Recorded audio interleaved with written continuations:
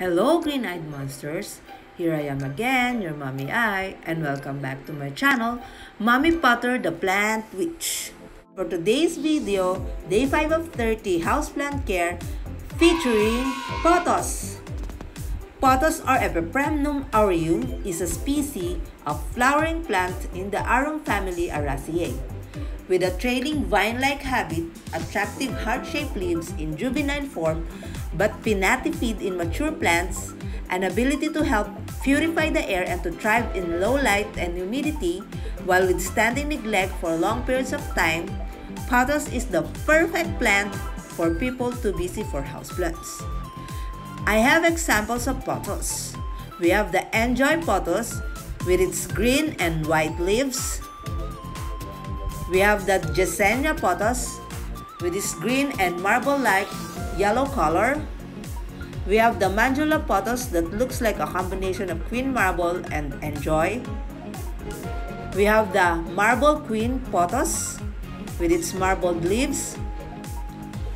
We have the very common golden pothos and the green one, the jade pothos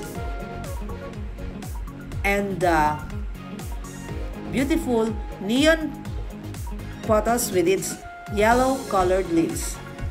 On the lighting conditions, pothos prefers to be grown indoors under bright light, not direct light, although it will also tolerate low light conditions.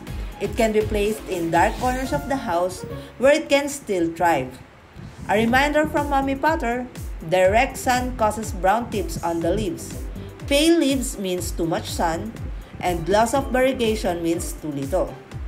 On the soil, pothos grow in any well-draining potting soil. A reminder from Mommy Potter, you can use organic soil mixed with perlites, coco peat, and rice hull. Put pothos on pot with proper water drainage.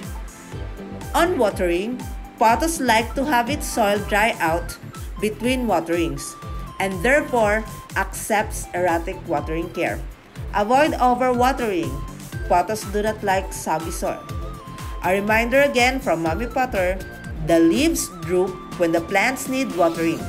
But do not let them dry for too long or you will see the leaves drop. On pests, pothos can attract spider mites, mealybugs, and scales.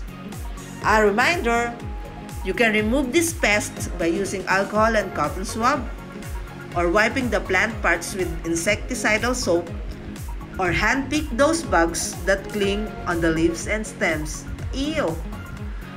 Pothos are ideal plants for beginners. They have earned the nickname Devil's Ivy because they are hard to kill plants and survive even in the dark. Now that you have tips on how to care for pothos, adapt a plant baby now and enjoy the magic of planting!